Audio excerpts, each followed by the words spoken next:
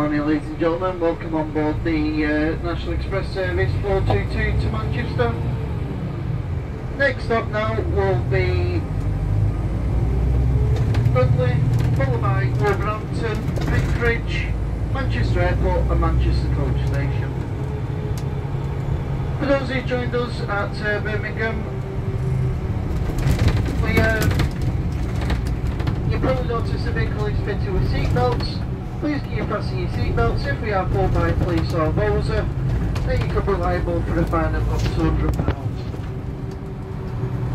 Also as well, we have got a toilet towards the rear of the vehicle. If you do need to use the toilet, please can use it whilst we're on the motorway and not on the roads.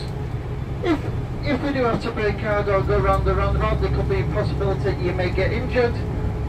Obviously I'm not good at uh, first aid, so obviously you don't want mouth to mouth from me. Also as well, there's no telephone calls allowed. It's just message apps only, such as Messenger or WhatsApp.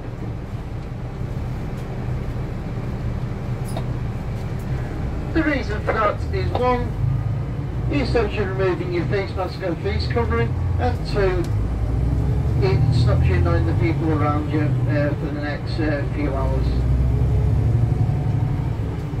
Also going on to uh, face masks and face coverings, it is mandatory on board whilst you're on this service. Failure to comply will result in you being removed from the service. And you'd have to make your own way at your own cost to your destination as you are in breach of your terms and conditions of your ticket.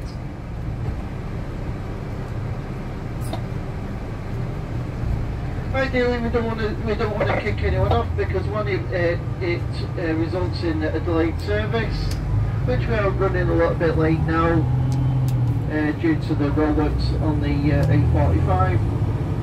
So obviously we don't want to be any more late than what we have to. So just please uh, please keep your mask on. I have a feeling who's going to take the mask off and probably get kicked off, but at the end of the day we've got to do what we do to keep you safe.